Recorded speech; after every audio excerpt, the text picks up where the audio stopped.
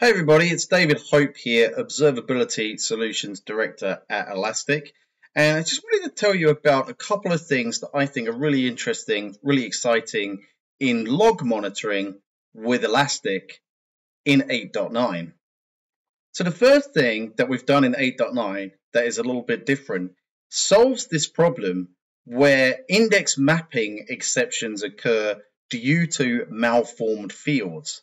So in the past, if data that came into Elastic didn't match the index mapping, Elasticsearch would drop the entire document and return an error.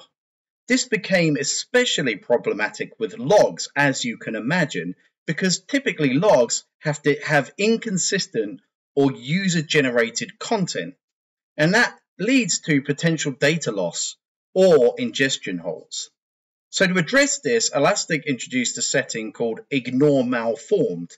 With this feature, instead of dropping the whole document, only specific malformed fields are ignored, while the rest of the document is processed seamlessly, which is big for log data, right? Because it ensures that vital log data is not lost just because of a few erroneous fields.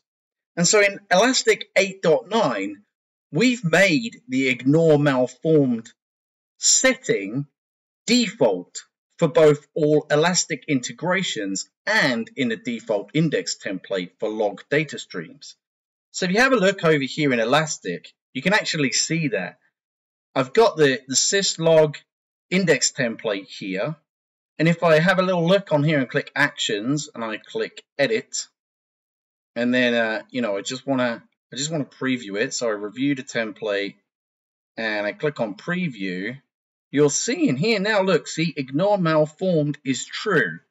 So this should significantly reduce the amount of logging that gets dropped or causes an exception, which is much, much easier for our users. You'll find that less information is lost when you ingest logs into Elastic.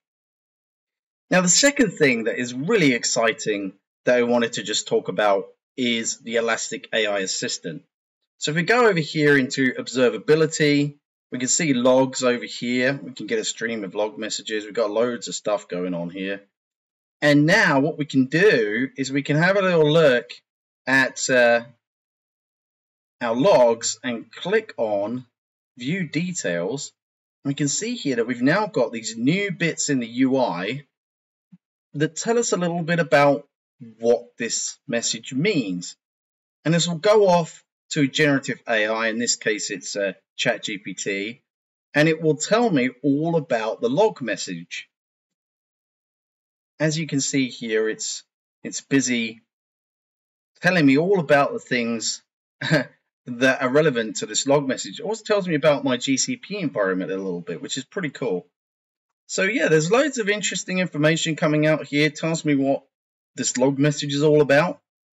Um, and then also it can tell me, you know, how do I find similar log messages?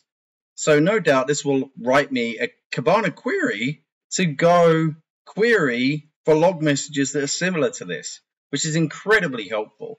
And this is available in 8.9 in technical preview. Now there's a couple of blogs that relate to these two features. So I'm going to pop those into the into the, the details of this video. So have a look at those and, and get on and, uh, and get 8.9 installed. Thanks for listening, folks.